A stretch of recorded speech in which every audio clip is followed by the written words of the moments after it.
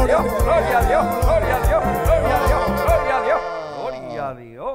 Gloria a Dios. Vámonos inmediatamente con la primera, primer estudio bíblico correspondiente al día de hoy.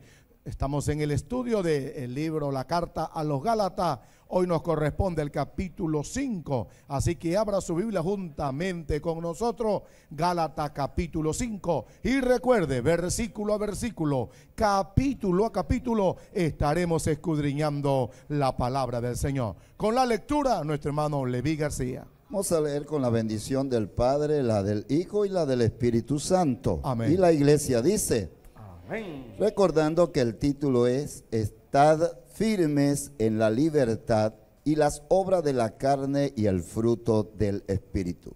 A su letra dice, está pues firme en la libertad con que Cristo nos hizo libres y no estéis otra vez sujetos al yugo de esclavitud.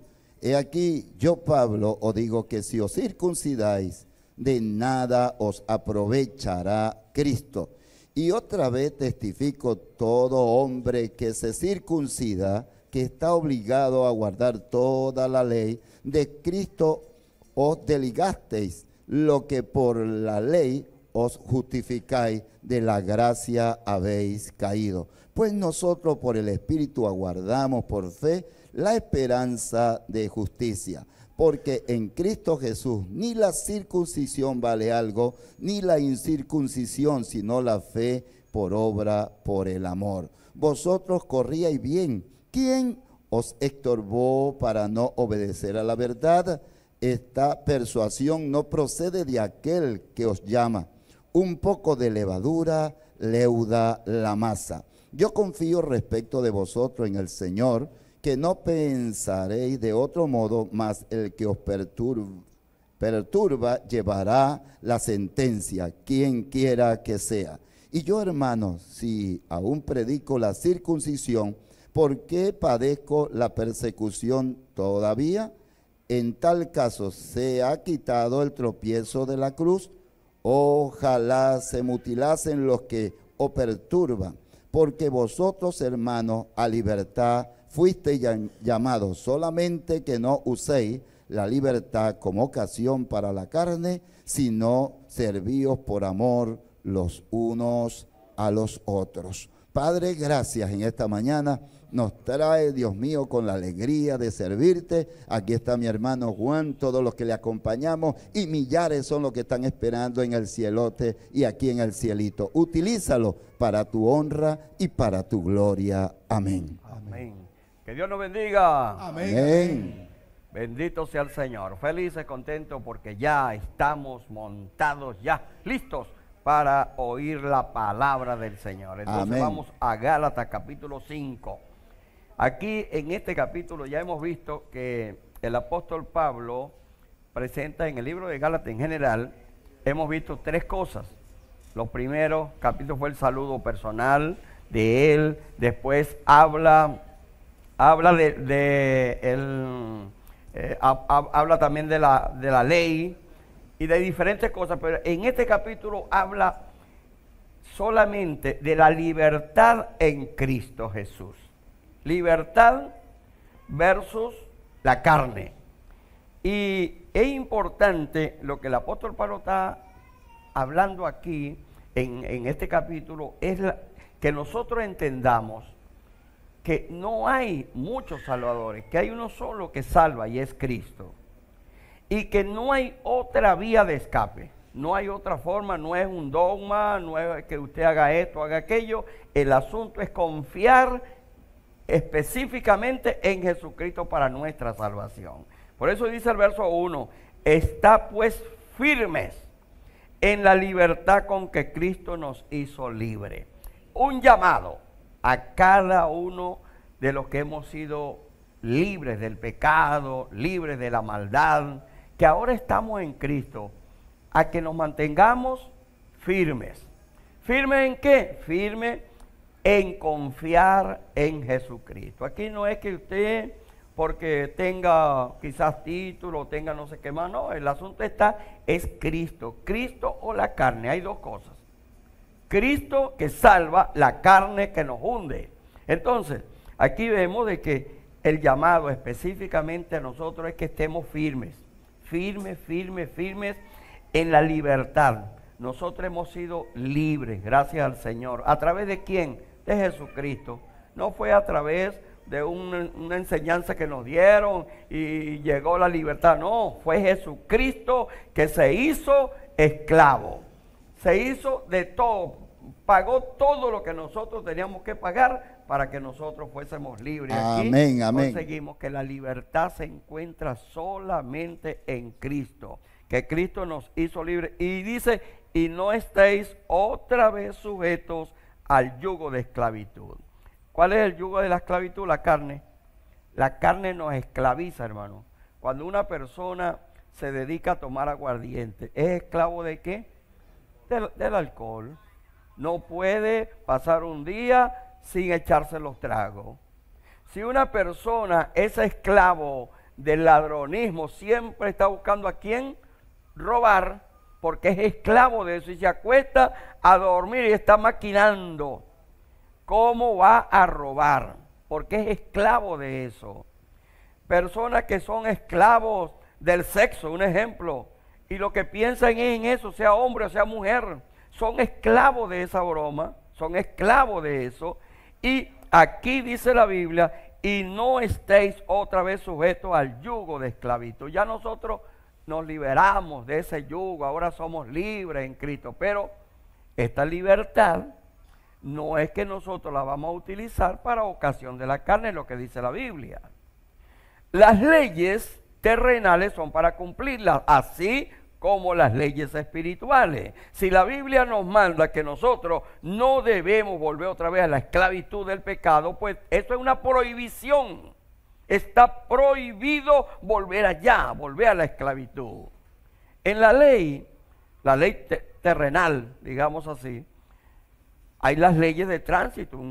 Por lo menos usted sale de su casa, sale un día domingo y ese domingo casi no hay nadie en las calles solo las esquinas y usted va en su carro, en su auto y de repente se consigue un semáforo.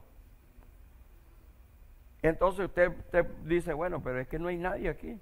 De ningún lado hay carro. Y no hay ni personas. Ah, no, yo. Recortó nada más, recortó nada más y, y le dio. Sucede que de repente le sale el fiscal. Epa, amigo. Este. A la derecha. usted, usted vio el semáforo. Hay, hay veces que ponen letreros. donde no hay semáforo, ponen letreros. Pare. Le dice, ¿usted, ¿usted vio el semáforo? No, no, sí lo vi. Sí lo vi. ¿Y qué, ¿Y qué le dice cuando la luz roja está ahí prendida? ¿Qué significa eso? Pare. Ah, eso significa pare. Ajá. Entonces, ¿y por qué? Pero usted no se paró, amigo. Usted le dio. Claro, recortó, pero ahí no dice que el, el semáforo rojo no dice que usted recorte. Ahí dice es que se pare. No, pero usted sabe que como no, no venía nadie, la lógica de la persona, ¿no? Este no, es que no venía nadie, no había nadie, pero es que el semáforo le dijo que se parara. Es la ley que lo mandó a que se pare, usted no tiene permiso para avanzar. No, pero mira que tú sabes que no sé, y empieza a luchar con el fiscal. Y entonces el fiscal le dice, bueno, este, según él, no es que la ley lo aprueba, sino que él le dice, bueno, está bien, está bien, pasa, pero eso sí, la próxima vez te vas a parar la próxima vez te vas a parar. En la esquina hay que pararse. Hay que pararse. No, sí, sí, sí, sí, le digo, sí. Y lo dejó irse, ¿no?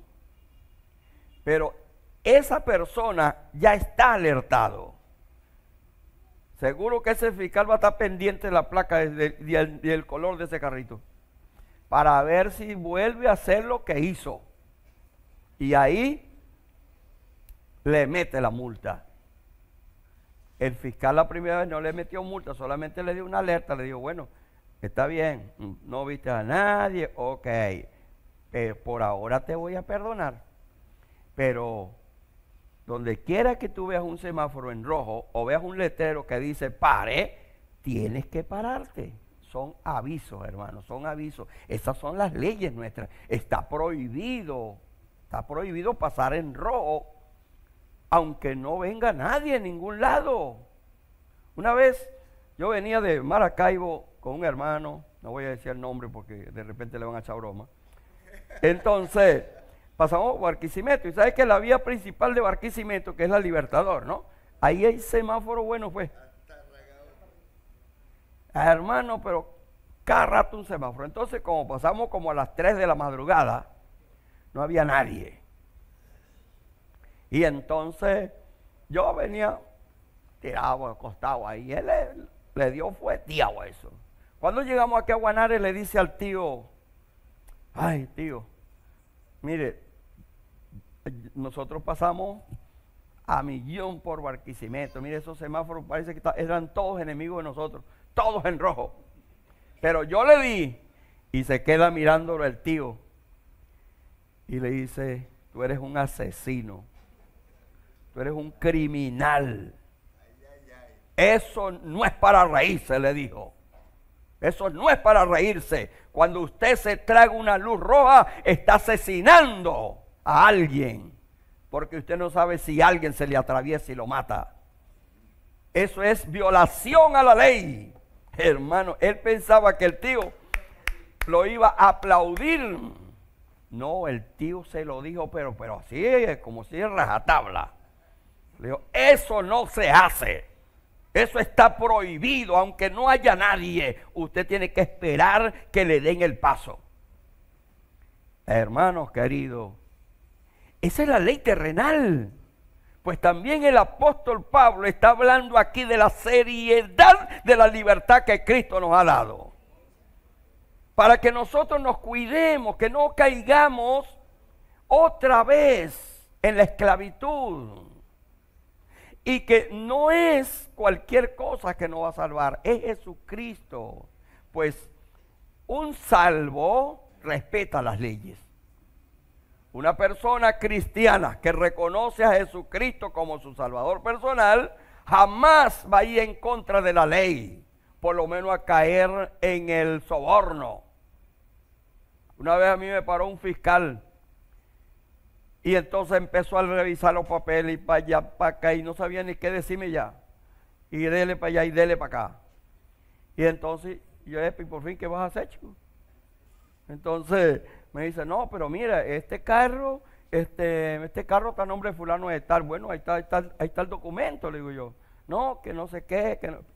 Y yo esperé un rato más. Y entonces después, chico, ¿y por fin qué va a hacer conmigo? Yo no estoy haciendo guardia aquí, yo tengo que llegar a la casa. Entonces me dice, no, pero usted sabe que, que no sé qué, no sé qué más. Entonces le dije, mira, chico, si tú estás esperando que yo te dé dinero, te equivocaste. Si querés agarrar la camioneta y te la lleváis, pero yo no te voy a dar ni medio. No, pero usted sabe, no, usted sabe nada. Se acabó. Así que por favor, ahí tiene las llaves, quédese con el carro y usted va a responder por ella. Yo me voy. No, no, no, está bien, llévatela, llévatela, llévatela. Otra vez me agarraron con una carga de material bíblico a la derecha. Entonces empieza, mire que lleva mucha carga. Bueno, está bien, no hay problema. Yo llamo otro carro para, para dividir la carga. Le digo, no hay problema. Entonces, no, no, pero es que usted sabe que no sé qué. Pero chicos, yo estoy dando la solución, ¿vale? Estoy dando la solución. Yo pido otro carro, descargamos una parte de la carga y se acabó el problema. No, pero que, es que eh, el, tiempo no da. ¿Cómo que el tiempo no da? Yo llamo el carro ya de inmediato, le digo yo. Y espera ahí, hermano, y espera, y espera, y nada que me libertaba. Entonces me llama un hermano abogado y me dice, hermano, ¿y, qué pasó? No, que aquí está, el fiscal estaba al frente, aquí está un fiscal amotinado que yo tengo que quedarme con él aquí porque la, camioneta y que tiene mucha carga, pero yo le estoy proponiendo de que yo busco un carro y, trasladamos un poco de mercancía para otro carro. Entonces, eh, ¿cómo es eso? Me- yo puse el, el- el teléfono en altavoz. ¿Cómo es eso? Eh, Eso es lo que tiene que hacer. Eh, eh, ¿co- ¿Cómo es el nombre de ese fiscal? Entonces le digo, "Bueno, aquí se lo voy a pasar. No, entonces, no, no, no, no, no, no. Eh, que- di- dile que tú te vas, que tú te vas, que tú te vas. Que no pasó nada. Ah, hermanos queridos, nosotros, la libertad que tenemos, no debemos caer en el soborno de Satanás, que el Señor lo reprenda. Amén. Cuando le llegue un fiscal a meterle una multa, es mejor que le meta la multa. Pero no le largue dinero porque usted lo está sobornando. Usted está cayendo en pecado y ese caballero está convirtiendo en ladrón. Y eso está prohibido. La libertad que Cristo nos ha dado es para vivir libres. Nosotros estamos por sobre todo lo que la gente, la ley, la ley, hermano, para nosotros es algo, es algo, es un, es fácil para llevarlo porque nosotros nos sujetamos a ella. Ahora, dice aquí, el 2 dice, he aquí yo Pablo os digo que si os circuncidáis, de nada os aprovechará Cristo. Si una persona que diga, bueno, por lo menos entre los judíos y algunas personas utilizan el- la circuncisión, ¿verdad? Pero la circuncisión no salva. Usted se puede circuncidar, pero si no agarra a Jesucristo como Salvador, se va para el infierno circuncidado. Así, así de claro. ¿Por qué?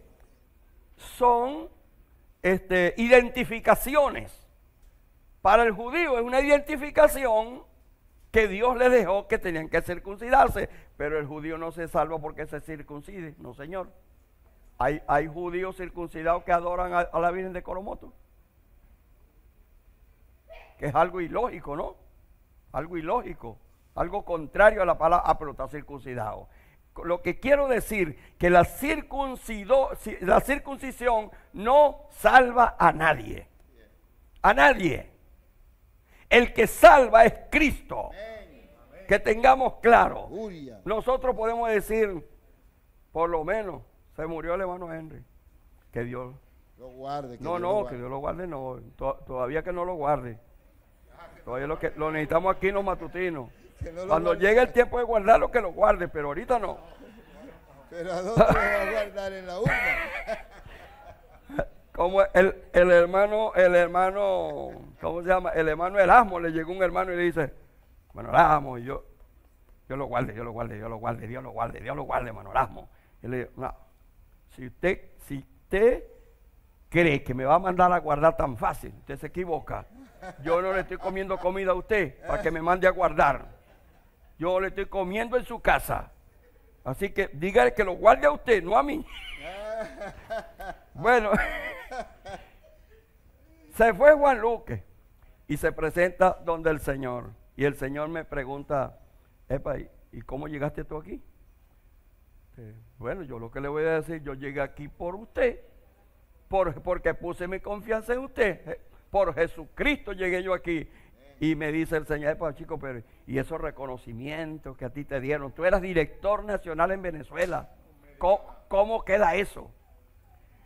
y te, tantas placas que tienes y reconocimiento y la gente te quiere. ¿Y dónde queda eso? Eso no queda en ningún lado. Yo llego aquí por Jesucristo que me salvó, no por ser director, amén, no por tener títulos, no por tener muchos amigos, no. Llego al cielo, mi Señor, porque usted me salvó, porque usted me limpió con su sangre. No.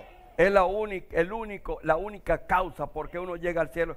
Algunos dicen, no, yo soy apóstol, mire, yo ganaba mucha gente para el Señor, hice campañas gigantes y se entregaban miles y miles. No, Señor, es Cristo el que salva. Amén, amén. No es malo ganar alma, es bueno, pero eso no nos salva. Hablar en lengua es bueno, pero no se salva porque habla en lengua. Los demonios también hablan en lengua. No nos salvamos porque danzamos, que es sabroso danzar en el Señor. Nos salvamos porque hemos puesto nuestra confianza en Jesucristo. Porque nos hemos arrepentido de todo pecado y que tengamos claro, no es circuncisión, no es hacer esto, tener título, ser apóstol. No, es Jesucristo el que nos salva. No, nosotros no vamos a meter otra cosa ahí.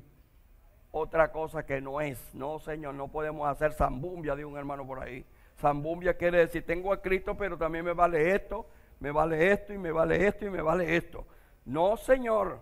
No, Señor, que Dios me lo bendiga, que Dios me lo bendiga. Dice, y otra vez testifico a todo hombre que se, que se, que se circuncida, que está obligado a guardar toda la ley. Pues nosotros, Jesucristo nos hizo libre por su amor y su misericordia. Que Dios me lo bendiga. Y gloria a Dios. Gloria a Dios. Bueno, vamos a continuar. Comenzamos con un lunes de bendición. Sé que en el cielo te están anotando y aquí en el cielito también. Y también sé que están sucediendo ya milagros y algunos que estaban errados, que estaban desviados quizás del camino, han empezado a tomar el camino. Y voy a continuar porque no podemos salirnos de este tema que el título es Está firme en la libertad. Recordemos, hermanos, que una de las cosas que entendemos por firme es estable. Una persona que está firme está estable. No es una persona que está desequilibrada, que se mueve de aquí para allá, está firme, nadie lo saca. Un día está allá y un día está acá. Un día le dicen una cosa y un día se mueve para... No, no, ese está firme. Y no necesita de tener un grado secular, ¿oye? Y no estamos en contra de los estudios, vuelvo y repito para que aclaremos esto. Pero conocemos ancianitas que no tienen mucho conocimiento secular. De hecho, aprendieron a leer en la Biblia porque eran analfabetas y vienen algunos y le dicen, hermanita, ¿qué hace tanto usted allí? Vámonos para la iglesia donde yo estoy. Me dijo, mire, yo no sé leer, pero sí sé que tengo esta palabra, que la escucho, la mando a leer también. Y siento un espíritu que está aquí en mi corazón que me dice que donde estoy, estoy bien. Eso significa de estar firme. No anda brincando ni anda tampoco para mejoramiento material. Hay algunas personas que quieren brincar para allá porque quieren mejorar materialmente, pero yo quiero decirle que nosotros tenemos bíblicamente y tenemos que adaptarnos porque Dios es el que nos dirige y Dios fue el que nos hizo. En un, en un punto, si lo viésemos como extremo, tenemos a Abraham, que no era rico, sino riquísimo. Y en otro punto tenemos a Lázaro, que era pobre, pero ambos se salvaron. Si estamos en el lado que Dios quiere que estemos, Oiga bien, porque una cosa es que lo que yo quiera y otra cosa es lo que Dios permita para enseñanza. Nosotros que tenemos que estar claros, pero que nada ni nada, oiga, ni la riqueza, ni la pobreza nos desequilibre, que nos vamos a mantener firmes en Cristo Jesús. Y eso es una cosa que nosotros la tenemos que tener claro. Y la otra parte, cuando habla de libertad acá, es desencadenado. Hace tiempo Dios nos desencadenó a nosotros. Estábamos encadenados en el adulterio, en la fornicación, en la mentira, en el engaño, en la idolatría. Pero hace tiempo nos desencadenó. Entonces hoy podemos decir con alegría, yo lo digo con alegría porque yo creo a la palabra. La Biblia dice que al que el Hijo libertare, ese será verdaderamente libre. Y yo sé que los que se han convertido en el cielote a través de estos matutinos, los que están convertidos aquí en el cielito y todos los que están convertidos en todas partes donde están escuchando, sabe que nosotros somos libres porque Cristo nos libertó. Y una cosa que sabemos es que está vivo, no está muerto. Un muerto no puede ayudar a nadie, pero un vivo sí. Y cuando llegaron las mujeres al sepulcro, los ángeles le dijeron, ¿a quién buscáis aquí? No busque entre los, entre los muertos al que está vivo, no está aquí, ha resucitado. Entonces yo soy libre porque el vivo Jesucristo que resucitó me libertó. Y sé que está libertando a muchos y seguirá libertando porque el Dios de ayer es el Dios de hoy, de mañana y de siempre. Bendito sea el nombre del Señor. Y eso lo tenemos claro. Ahora fíjese el versículo que a mí me corresponde, que es el 4. Me llama mucho la atención porque seguimos identificando que la ley no puede en ningún momento este, tomar una posición sobre la gracia. Y ya nosotros estamos claros aquí que la ley lo que nos enseñó es a saber que estábamos transgrediendo, que estábamos haciendo lo malo, pero no nos enseñó a salir de allí. Y ella nos impulsa entonces a buscar al que nos ayude. ¿Quién no necesita ayuda? Yo sé que allí donde nos están viendo hay borrachos que necesitan ayuda, drogadictos que necesitan ayuda, ayuda, hogares que hoy en día necesitan ayuda porque andan en gritos, en golpeadera y todas estas cosas. Y necesitamos la ayuda de Dios y estamos en el camino donde Dios nos puede ayudar. Entonces nosotros tenemos que entender que entendimos que el único que nos puede ayudar y libertar se llama Jesucristo. Nadie más en el nombre del Señor. Y fíjese que el versículo 5 dice, pues nosotros por el Espíritu aguardamos por la fe la esperanza de justicia. Y el 4 dice, de Cristo deligasteis lo que por la ley os justificáis, de la gracia habéis caído. Cuando alguien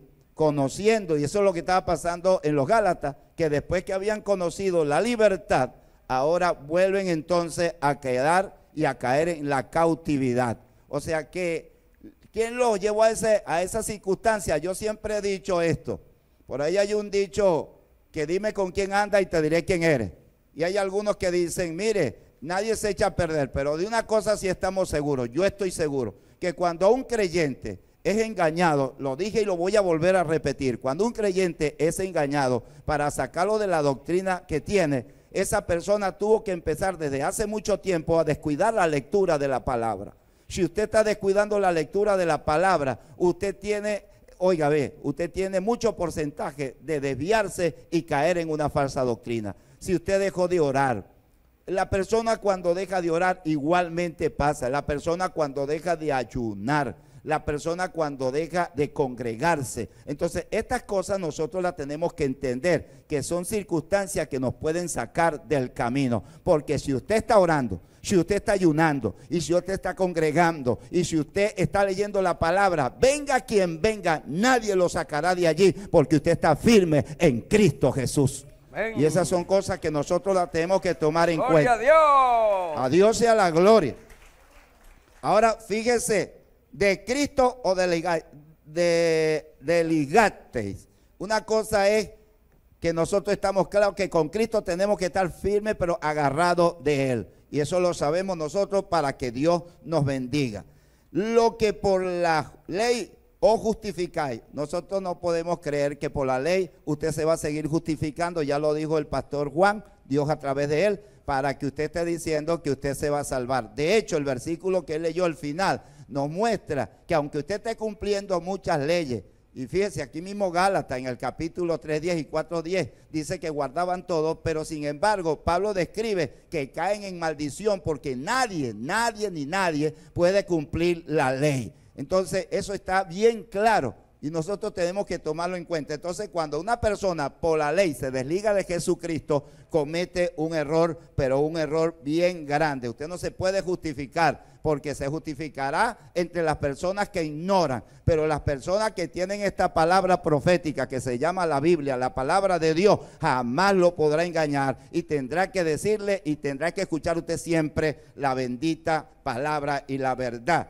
de gracia, fíjese, porque habéis caído. ¿De dónde cayó? De la gracia. ¿Y quién es la gracia? Jesucristo. La palabra gracia se entiende por regalo. Y esta gracia acá no es otra cosa más que el regalo de quién? De Dios entregando a su único hijo. Nosotros no somos salvos porque compramos la salvación. Hubo un identificado. ¿Quién? La Biblia dice que la palabra, y esto es la palabra, y nosotros tenemos que tomarla en cuenta. Pues dice, mas Dios muestra su amor para con nosotros, que siendo nosotros pecadores, Cristo murió por nosotros. ¿Qué era lo que nosotros éramos? Pecadores. Pero cuando Cristo murió, nosotros también morimos con Él, pero también resucitamos con Él. Ahora no somos pecadores acusados, sino pecadores arrepentidos, porque Jesucristo nos limpió con su bendita sangre. Y lo que Dios limpia, nadie, pero ni nadie lo puede llamar inmundo. Y esa es la palabra del Señor. Y sigue diciendo la escritura, para que tengamos una idea, de la gracia habéis caído. Qué tristeza cuando una persona cae. Una de las cosas que quiero que tomemos en cuenta, que fácil es caer, pero difícil de levantarse. Por eso es que tenemos que cuidarnos. Hay cantidades de personas, oiga bien, hay cantidades de personas que han caído y todavía no se han podido levantar. Hay personas que están ayunando, hay personas que están orando, familias que están esperando que su hijo, escuché al hermano Juan hablar, y esto fue Dios a través de él, que la persona cuando se desvía o se sale del camino, su postrer estado es peor que el primero. Si no era ladrón, tiene tendencia a ser ladrón. Si no era homosexual, tiene tendencia a ser homosexual. Si no era quizás un matón, puede terminar ser un matón. Si la mujer no era prostituta, probablemente puede caer un prostíbulo, porque la Biblia dice que su estado es peor que el primero. Dice que un demonio que vuelve otra vez al lugar y lo ve vacío, viene con siete peores y es cuando su estado es peor. Ahora, ¿qué nosotros tenemos que entender acá? Una de las cosas que nosotros tenemos que tomar en cuenta con este versículo es evitar caer de la gracia. Usted tiene que mantenerse. No sé cómo se va a agarrar, pero si usted quiere un día pisar la nueva Jerusalén, si usted quiere caminar por, por, eh, por mar de cristal, si usted quiere ver ese Dios tan maravilloso en su presencia, de Dios se tiene que agarrar. No me caigo, no me deligo y pase lo que pase, estoy agarrado con Jesucristo. Y eso es lo que Dios nos está enseñando. Pues nosotros, escuche, pues nosotros, el 5, por el Espíritu aguardamos por fe la esperanza de la justicia. Fíjese que aquí la palabra espíritu es con E mayúscula, entonces con el Espíritu Santo. Antes la ley era un ayo para, para guardar, quizás también y para ayudar y guiar. Pero hoy nuestro ayo no es la ley. Hoy nuestro ayo es el Espíritu Santo, el que nos guía, el que nos guarda. Por eso hay que hay personas que no tienen a Jesucristo, que no tienen la promesa del Espíritu Santo, que no tienen, oiga bien, ese guardador, ese consolador, que cuando le pasa alguna cosa, inmediatamente va a mostrar lo que es y lo que hay en su corazón y en su mente. ¿Qué hay en su corazón y en su mente en una persona que lo deja la mujer allá en el mundo? Corriendo se va a la cantina a cantar ranchera, como decía el hermano Henry en estos días, y empezar a emborracharse, a tirarse y llegar al frente de la casa de la mujer que lo abandonó y a decirle, aquí estoy, te quiero mucho, me estoy muriendo porque estoy tomando. Ay, ay, ay, empiezan con esa cosa. Pero si le pasa a un creyente que nos ha sucedido y le ha sucedido a un creyente, ¿qué pasa con ese creyente? ¿Se va corriendo a la cantina? No, Señor. ¿Se va corriendo a matarse con gramuzón, a meterse un veneno? No, Señor. Se va corriendo, oiga bien, y se mete con el Señor y le dice, Señor, dame fuerza. Y el consolador viene, lo fortalece, lo ayuda, lo levanta y sigue adelante. gloria a Dios, gloria a Dios, gloria a Dios.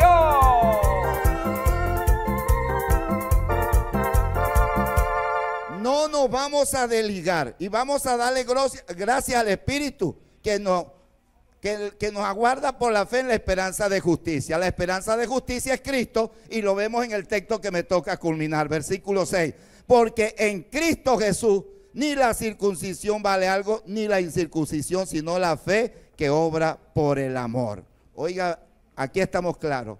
Nuestra salida, nuestra gran bendición si usted se circuncida del prepucio, y me llamó mucho la atención una hermana que predicó acá, nuestra hermana Rafaela, y Dios le dio una revelación a ella porque nosotros sabemos que eso fue Dios, y ella dijo en una oportunidad, el prepucio, ese pedazo de cuero que se pudre, mire, ese es lo malo que Dios nos sacó a nosotros, ya eso está podrido, ya eso se perdió y nosotros hemos quedado limpios. Y hoy sabemos nosotros que nuestra circuncisión, no es en el prepucio de nuestro miembro. Nuestra circuncisión es en el corazón. Cuando Dios circuncida el corazón y Dios entra y lo limpia, somos nueva criatura. Que Dios me les bendiga y que Dios me les guarde. Eh,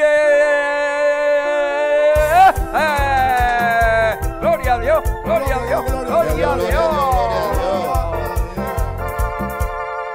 apóstol Pablo escribiendo esta carta que nos deja a nosotros grandes enseñanzas. Por eso la Biblia dice que toda escritura es útil ¿Cuál es la enseñanza principal de esta carta? Entender que somos salvos por la gracia de nuestro Señor. Habían creyentes que, que venían de Israel, que empezaron a enseñarle al pueblo a judaizarse, a que volvieran a guardar los preceptos, leyes, estatutos y ordenanza que había enviado Moisés. Y de esa manera creerse mejor que el otro, porque ellos estaban obrando de una manera diferente, obedeciendo, sobre todo el caso de la circuncisión, que estaban obligándolos a que se circuncidaran. Y Pablo le dice que el que se circuncida está obligado totalmente a guardar la ley y que ya nosotros no vivimos bajo la ley, nosotros estamos bajo el pacto de la gracia.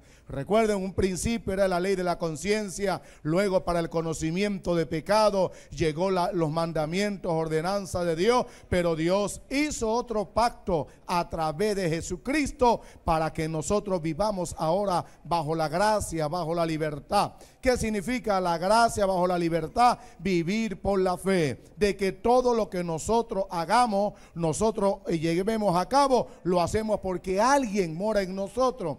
Alguien nos ha transformado. O lo que dice el apóstol Pablo, ya no vivo yo, sino que vive Cristo en mí. Todo lo que yo hago no lo hago porque tengo fuerza. Hay alguien que está dentro de mí que me da absolutamente toda la fuerza. No que la ley sea mala, sino que a través de la ley conocimos el pecado. Y entonces nosotros, si vamos a obedecer muchas, muchas ordenanzas de la ley, lo hacemos por fe en el amor de Cristo. ¿Por qué? Porque cuando nosotros tenemos ya no ese mandamiento, no lo haga porque vas a morir, no lo haga, sino que ahora lo hacemos por amor, porque el amor de Dios ha sido derramado en nuestros corazones. ¿Por qué lo hacemos? Por amor, por ternura, como lo hizo Cristo nuestro Señor. Por eso Pablo les exhorta en el versículo que me corresponde y el versículo 7 del capítulo 5 de Gálatas le dijo, vosotros corríais bien. Ustedes estaban corriendo, eran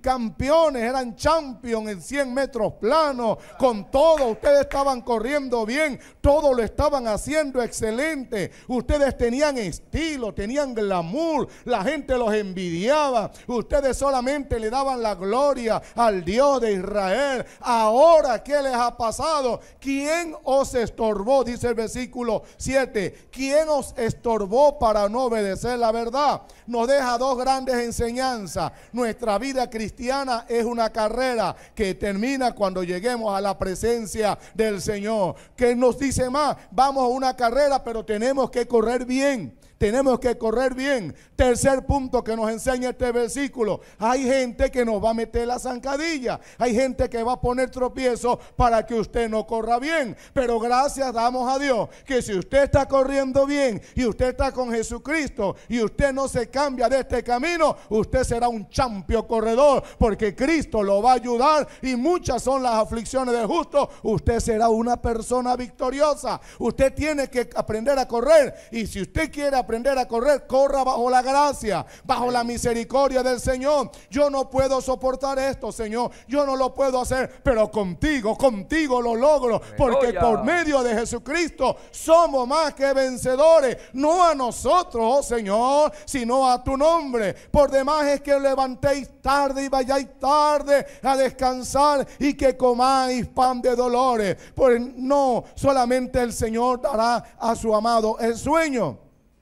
¿Qué significa fe? Una total dependencia de Dios. Lo que hagamos, lo hagamos para el Señor. ¿Qué dice Pablo, versículo 8? Esta persuasión no procede de aquel que os llamó. Les habló de la carrera, los, inconvenientes, las piedras de tropiezo, la zancadilla que te van a colocar, pero vas a salir en victoria. Identifica quién te está metiendo la zancadilla, pero siempre está pendiente del Señor. Ahora Pablo en este versículo le habla de la persuasión. Hay persuasión persuasiones buenas y hay persuasiones malas. Ustedes recuerdan cómo nuestra primera, nuestra hermana Eva fue persuadida por el mal para comer del fruto prohibido. Entonces nosotros como creyentes en esta carrera vamos a conseguir no solamente tropiezos, sino vamos a conseguir a la orilla del camino gente que nos persuadiza, nos dice, epa, vente para acá, vas a seguir corriendo en ese poro caminito, caminito de Guarena donde está la novia tuya, no, puro ese caminito, échate para acá,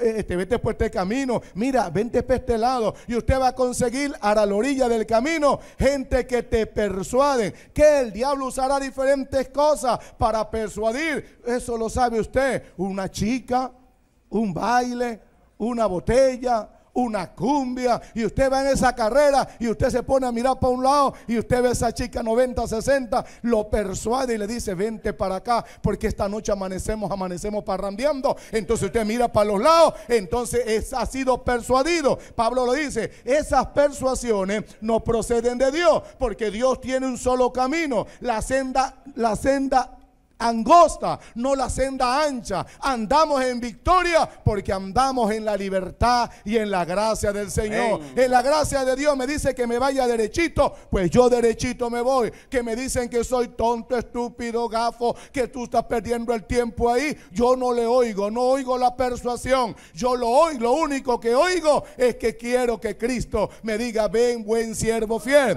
Dice el versículo 9, un poco de levadura leuda toda la masa queda el tercer punto, la claridad que usted tiene que ser como masa de Dios como primicia de Dios que tiene que ser puro. Va a correr en este camino, va a correr bien. ¿Cómo va a correr usted? En santidad. No se engañe, no se engañe de que lo vean corriendo y parece que vaya en santidad y anda como el conductor, me parece que va mirando hacia adelante y tiene un espejo retrovisor que hace solamente mirar al pasado. Hay que olvidar todo extendiéndonos a lo que está delante, a Jesucristo. Corra bien, corra bien corra con estilo, corra con santidad, que el premio es muy grande, el premio es poderoso y Jesucristo cuando usted termine y terminemos nuestro recorrido nos dirá, ven buen siervo fiel, has corrido bien. Gloria a Dios, gloria a Dios, gloria a Dios, gloria a Dios, gloria a Dios. Hombre, Henry. Se cansó Henry. Aleluya. Yo creía que iba a seguir. Bendito sea el Señor. Bien, amados hermanos y amigos, qué bueno, ¿verdad? Lo que estamos aprendiendo en esta preciosa mañana. Yo lo que puedo ver allí, ¿verdad? Es la corrección y la exhortación de un pastor hacia la iglesia. Cuando una iglesia se desvía, cuando una iglesia va perdiendo los principios de la doctrina, entonces nosotros los pastores tenemos que corregir, corregir, exhortar con mucha sabiduría, eso sí, porque la Biblia dice que con eh, que el pecado se corrige con, ¿cómo que dice? Con, la, con misericordia y verdad se corrige el pecado. Y con el temor de Jehová los hombres se apartan del mal. Dice acá, yo confío, dice el apóstol Pablo allí, eh, sigue diciendo, yo confío respecto de vosotros en el Señor. Qué bueno, ¿verdad? Es cuando nosotros confiamos en nuestra iglesia, en ese grupo de personas que tenemos y que no nos van a defraudar ni a nosotros, ni mucho menos a Dios. Sabemos que esta gente, pues los Gálatas se habían desviado, mm, claro, no todos, no todos.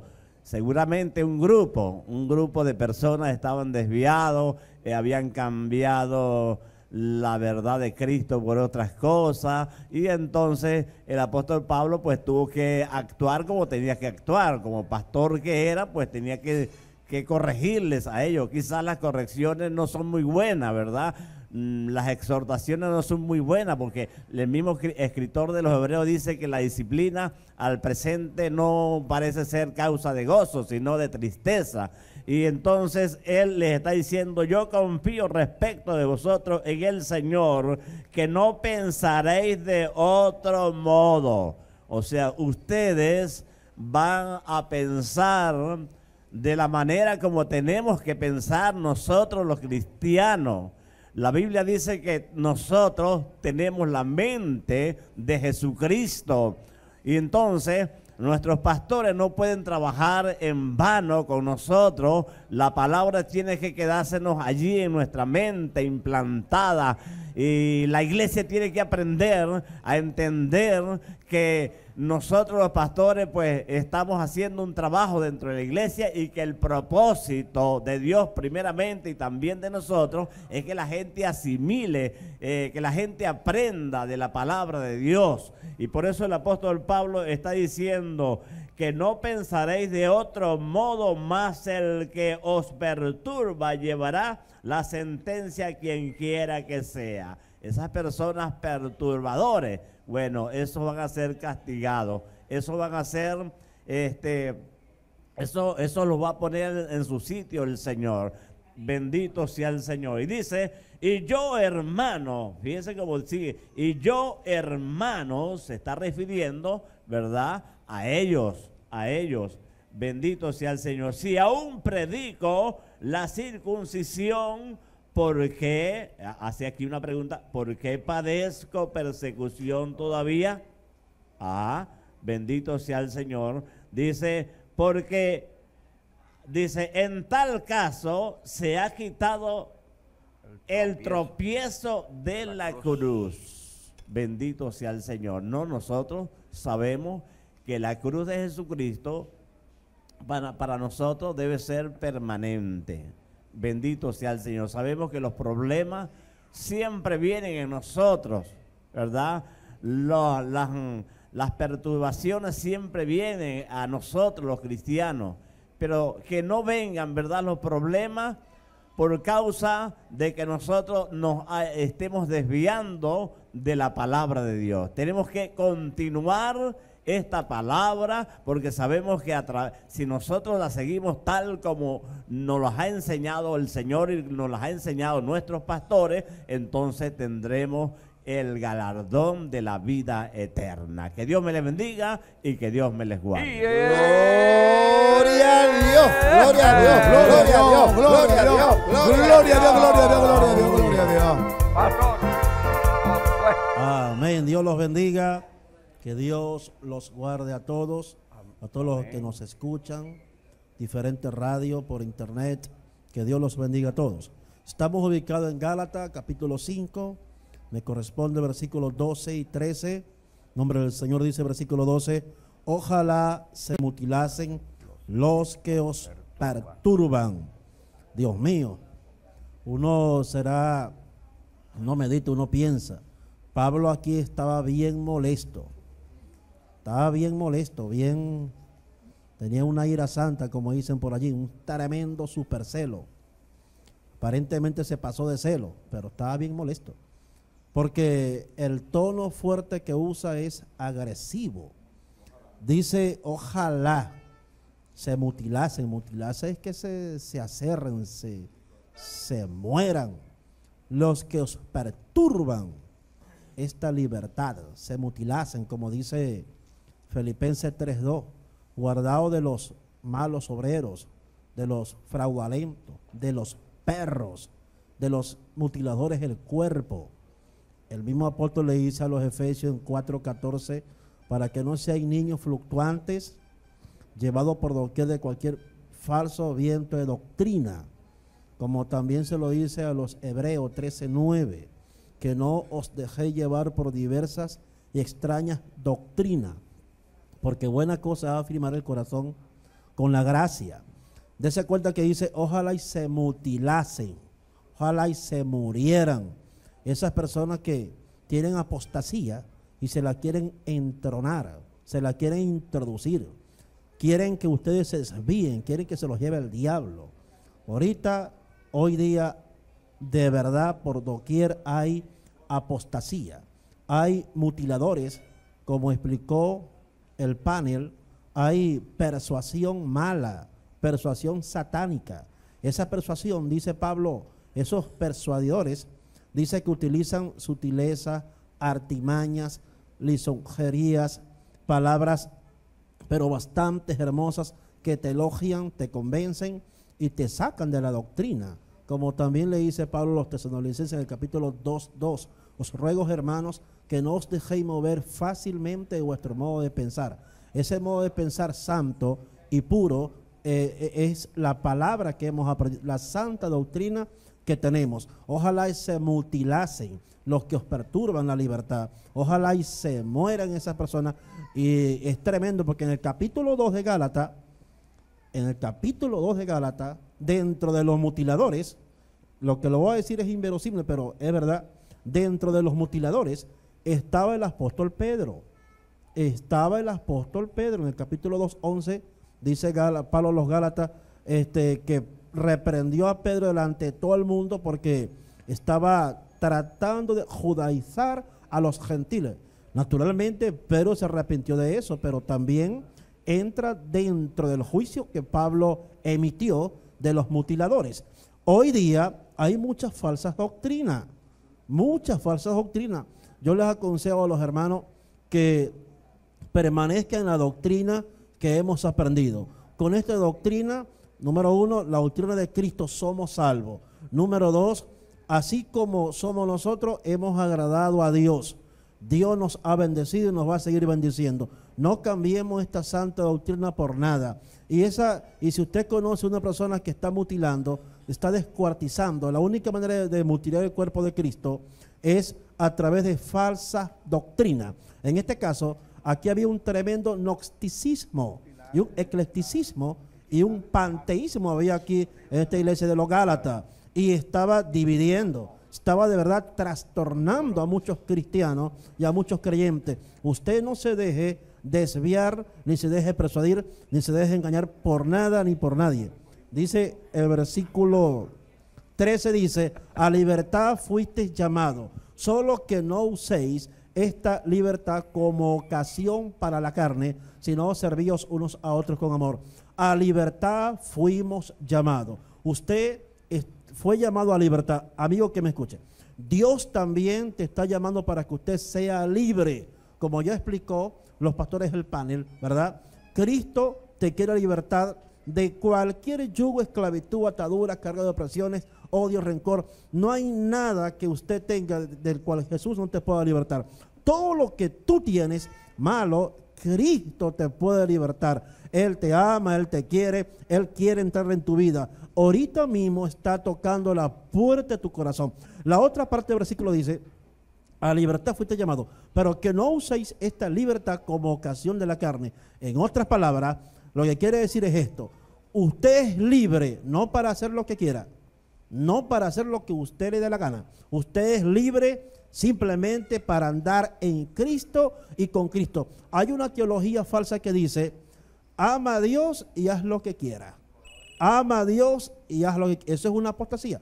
Porque si yo amo a Dios, no voy a hacer lo que me dé la gana. Si yo amo a Dios, tengo que hacer lo que Cristo dice según Juan 14, 15. Si me amáis, guardad mi mandamiento. Esa teología del diablo ha engañado a un poco gente. Y yo he conocido a unos que me dicen, varón, yo amo a Cristo, pero tengo mi esposo y ando con una fulana porque soy libre y ningún pecado a mí me puede condenar porque los que estamos en Cristo Jesús no tenemos condenación.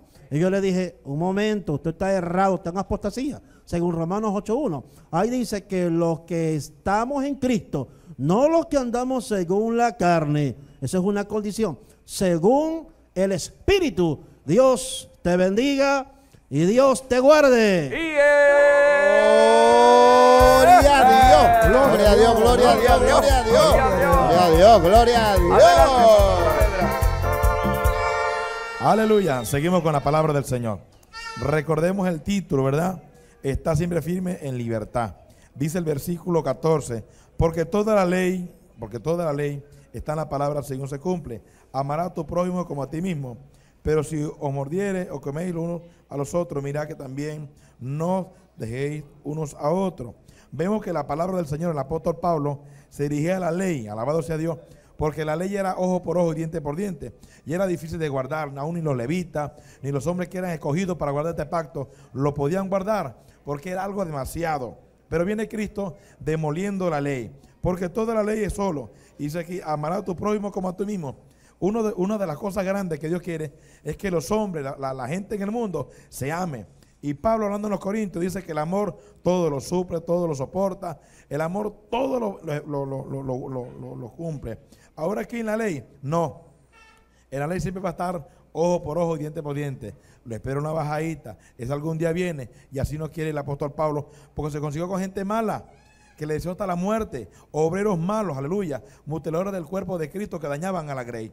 Entonces, los Gálatas empezaron muy bien en el espíritu, pero se fueron echando a perder, hermano querido. Cuando el creyente, el hombre de Dios, deja la búsqueda y deja de practicar la palabra del Señor, se va corrompiendo, se va saliendo, ya no mira igual y va perdiendo la hermosura como hizo este hombre que se le metió el mismo diablo, el ángel más querido por Dios, porque mire cómo dice el versículo, amarás a tu prójimo como a tú mismo. Cuando uno ama a su hermano, se alegra porque está Henry aquí de nuevo en el matutino. Se alegra cuando el hermano Puerta huele aquí porque ama a su prójimo. Pero cuando alguien siente envidia, celo, lo critica, lo murmura. Y le dice, mira Henry, ¿qué futuro tienes tú ahí? Así me decían a mí también, hermano. Tú lo que eres un recoge corneta de Huicho. Tú no tienes ningún ministerio, Saavedra. Salte del lado de Huicho, que el Señor te reprenda, le dije yo. Así me lo decían, hermano. Usted no tiene ministerio con Huicho ahí. Ah, bueno, quédate quieto. Y así me fui manteniendo en la misión horario 1. Y hoy por su misericordia estoy en este lugar. Y los que me criticaban, me murmuraban, no están ni, ni en la 1, hermano querido. Malos obreros que matan a cualquiera con la lengua. Con nosotros quieren desaparecer la gente. Y eso no le agrada al Señor. Sigue diciendo, pero si os mordéis y os coméis los unos a los otros, hay gente que se, se le mete el diablo y crujen los dientes, hermano querido.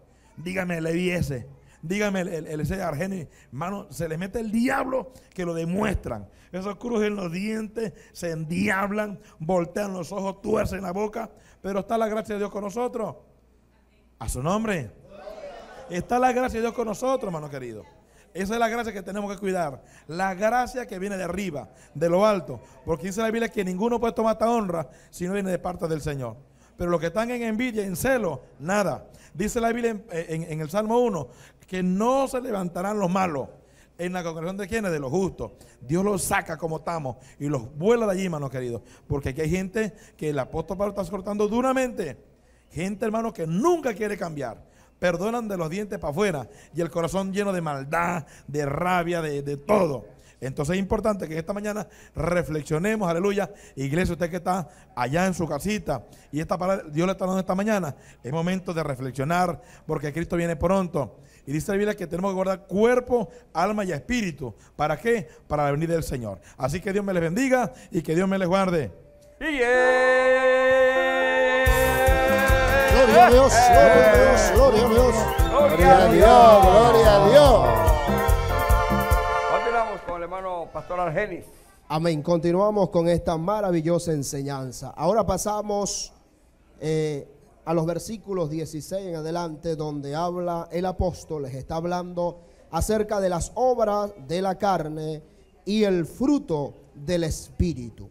El apóstol los lleva a un orden de dos cosas muy importantes, las cuales se hacen manifiesta en el hombre, y es las obras de la carne y el fruto del Espíritu. Y él comienza a hablarles acá, y una de las palabras que resalta en este versículo, la cual quiero explicar, dice, digo pues, el apóstol les habla, digo pues, andad en el Espíritu y no satisfagáis los deseos de la carne. El apóstol comienza dando una ordenanza de parte del Señor diciéndole, digo pues, anda en el espíritu.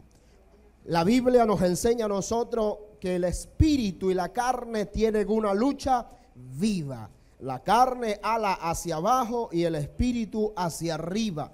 Pero acá la orden de parte de Dios y oído el cielito, el cielote y nosotros los pastores, y es que debemos andar en el espíritu.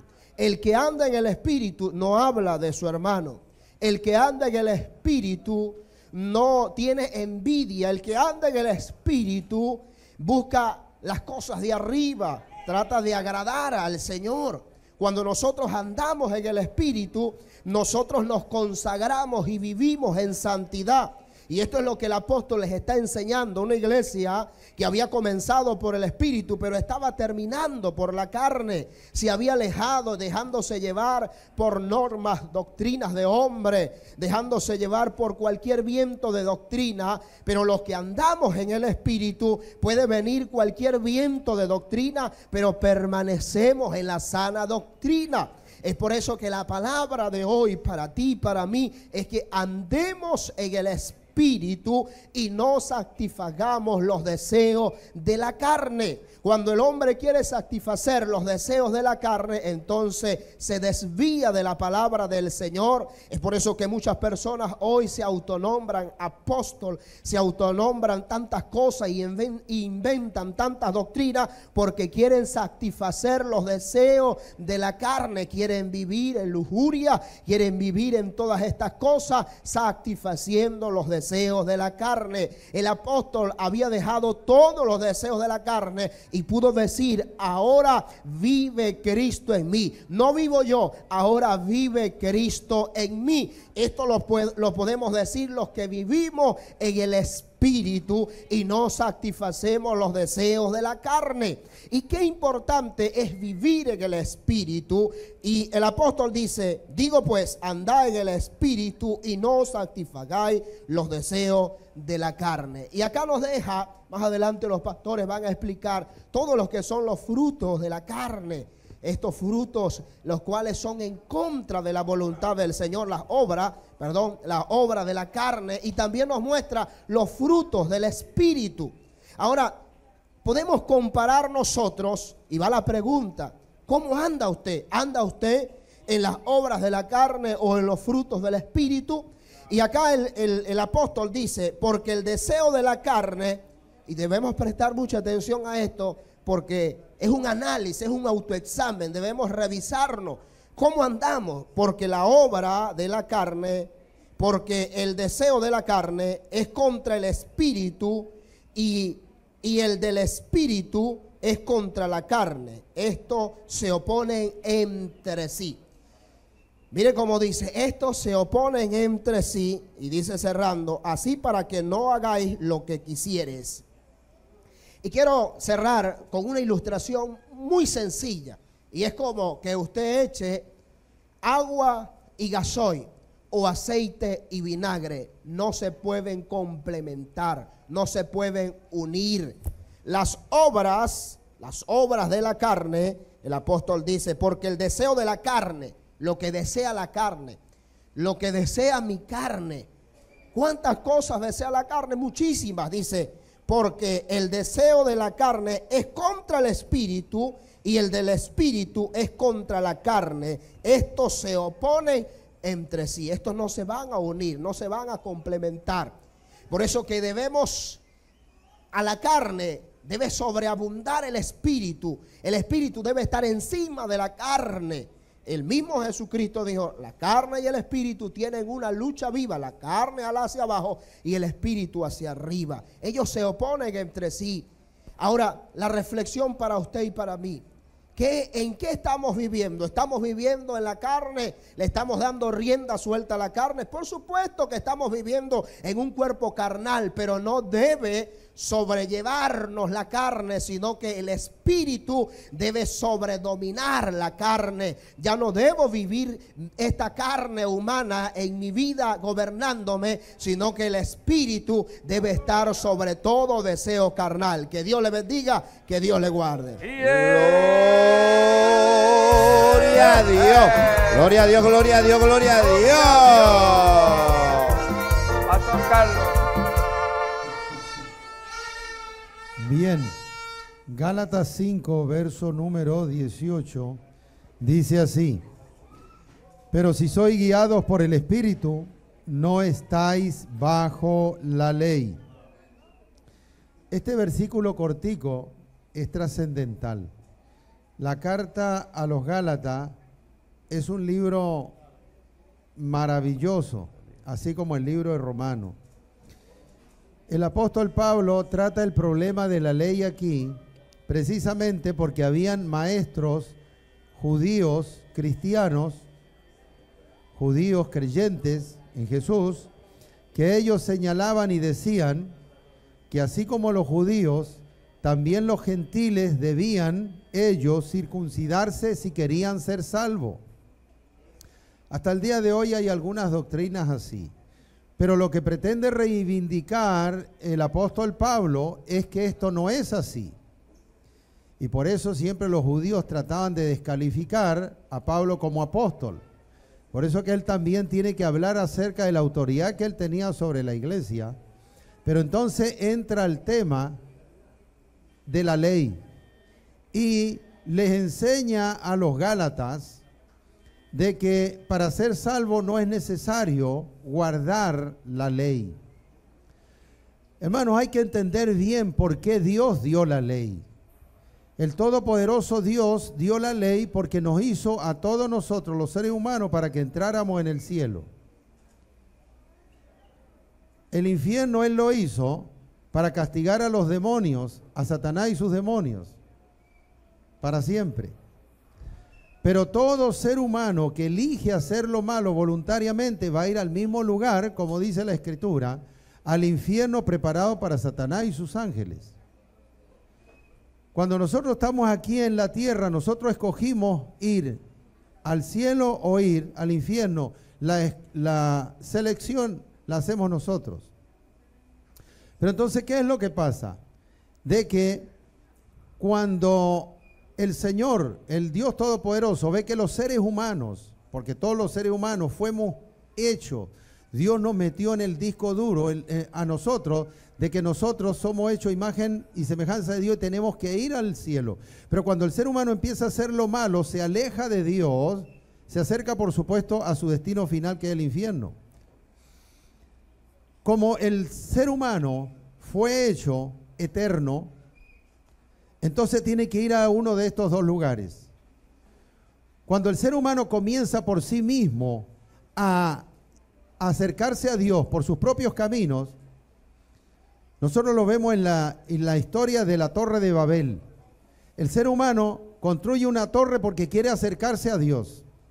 Pero eso también señala que está buscando su propio camino, su propia forma de satisfacer la necesidad espiritual de acercarse a Dios y esto Dios no lo acepta y confunde sus lenguas y salen los idiomas a todas partes del mundo. Y los hombres ahora ya, porque no han, hablaban un solo idioma, no se entendían y no podían entonces permanecer en este capricho de acercarse a Dios por su propio esfuerzo, cosa que siempre ha manifestado las religiones del mundo hasta el día de hoy, acercarse a Dios por su propio esfuerzo. Por favor, ponga atención en esto. Porque entonces, así como el hombre quiere acercarse a Dios por su propio esfuerzo, entonces Dios les da la ley. Dios le entrega la ley para que ellos entiendan que si quieren acercarse a Dios por su propio esfuerzo, ahí tienen la ley, cumplan la ley. Si no cumplen la ley, entonces no pueden acercarse a Dios. Y Dios les señala un camino en el Viejo Testamento y es guardar la ley. Pero nosotros sabemos que la escritura dice en Ezequiel, pero yo le di mandamientos que no eran buenos por los cuales no podrían ser salvos. Y cuando dice no eran buenos, no es que eran malos, sino que no eran suficientes para alcanzar la salvación. Así que toda la ley perseguía un solo objetivo, convencer al ser humano que por sus propios esfuerzos no podía llegar al cielo. Y los que tratan hasta el día de hoy de guardar, mire, los judíos se levantan a las 4 de la mañana, los más ultra ortodoxos, para empezar desde tempranito a guardar la ley. Son 614 mandamientos que diariamente ellos tienen que cumplir. No se la pueden. Porque si una persona quiere por su propio esfuerzo Ajá, acercarse a Dios, otro dirá, yo hago más esfuerzo y yo más esfuerzo, de ahí salen las religiones ortodoxas, las más ultra ortodoxas, y así. Entonces viven comparándose unos con otros y Dios aborrece eso. Pero la ley entonces es dada por Dios para que los hombres se den cuenta que por su propio esfuerzo no pueden acercarse a Dios y ahí Dios les señala el camino. Y mientras más tratan, menos pueden, porque más se descubren pecadores, porque la ley castiga la ley estaba destinada, ajá, ya, ya me falta poco. La, ley estaba destinada a descubrir al hombre cuáles eran sus pecados.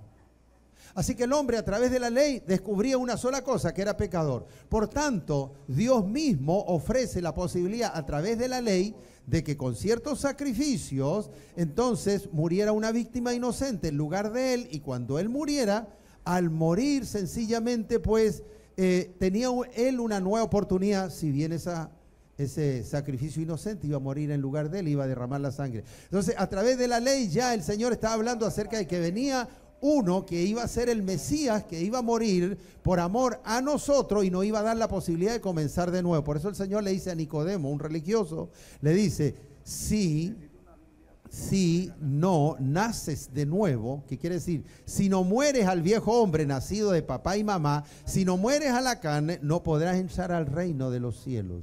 Es decir, tienes que nacer de nuevo, comenzar de nuevo en el Espíritu, para entonces entrar al cielo. Y cuando el Mesías viene, Jesús, entonces llega la gracia, que es lo contrario a la ley. Entonces, cuando el versículo dice aquí, pero si soy guiado por el Espíritu y ya no estáis bajo la ley, es porque cuando la ley viene sencillamente a nosotros, nosotros aceptamos a Jesús. Y cuando nosotros aceptábamos a Jesús, entonces moríamos a nosotros. Y cuando usted muere, usted está libre de la ley porque usted está muerto. Así que si usted muere y acepta a Jesús, ahora entonces es guiado por el poder del Espíritu Santo que resucita a los muertos. Y cuando usted es resucitado, usted adquiere ahora la nueva vida que es en Cristo Jesús. Sí, solamente sí, el Espíritu de Jesús, el Espíritu de Dios, el Espíritu de Cristo, que era el que tenían los profetas antes cuando profetizaban, entra a usted. Y cuando entra a usted, entonces usted ahora puede decir, Muerto estoy con Cristo, crucificado estoy con Cristo y ya no vivo yo, mas Cristo vive en mí. Y cuando, como está muerto a la ley, ahora está vivo al Espíritu. Si usted vive por el Espíritu, déjese guiar por el Espíritu y no satisfaga los deseos de la carne, no sea carnal, sea espiritual, porque usted es salvo, cuide su salvación. Dios le bendiga. Y Dios le Gloria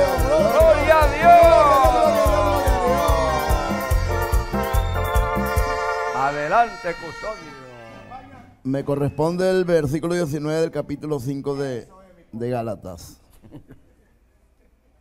Dice, y manifiestas son las obras de la carne, que son adulterio, fornicación, inmundicia, lascivia. En resumido es veneno para el alma, veneno para la, la salvación. Una doña en proverbio ya dice que las aguas hurtadas son dulces y el pan comido en oculto es sabroso. Pero aunque sea muy sabroso, la consecuencia, ¿verdad?, es amarga.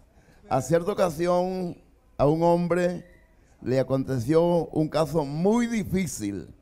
Él tomó a una mujer ajena, claro, en convenio, tanto el uno como el otro, y de pronto el esposo, él está en pleno adulterio con la señora. De pronto el esposo de la mujer los encontró en el acto, en el acto vergonzoso prácticamente, y le dijo al hombre, yo a ti no te voy a matar, porque siempre resulta ese caso, no te voy a matar, pero en este día tú me la vas a pagar, te voy a violar. Ese pobre hombre lo violaron por estar de, de vagabundo prácticamente, porque la paga del pecado es muerte, la consecuencia del pecado es amarga, aunque el sabor del pecado es dulce, el pecado provoca, tiene un sabor dulce, agradable, pero la consecuencia es amarga. Y debido al pecado, pues muchas criaturas hoy, que aún habiendo conocido verdad el Evangelio, están perdidos eternamente y para siempre porque murieron descarriados, murieron sin salvación. Entonces este, este libro de Gálatas para nosotros, tanto para hombres y mujeres, aquí en, la planta y fuera de aquí, es una alerta para nosotros para que nos cuidemos, mis hermanos, porque el pecado prácticamente está a la puerta y el diablo está atizando que Dios lo reprenda. Amén. Dios los bendiga.